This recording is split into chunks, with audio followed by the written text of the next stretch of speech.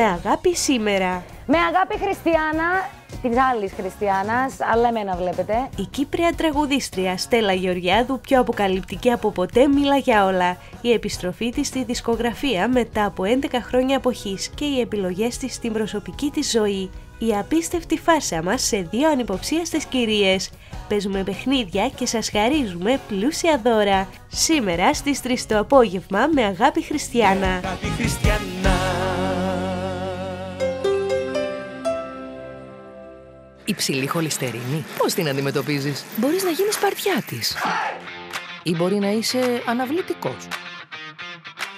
Ή μπορεί να είσαι ρεαλιστής και να χρησιμοποιείς Bessel Proactive.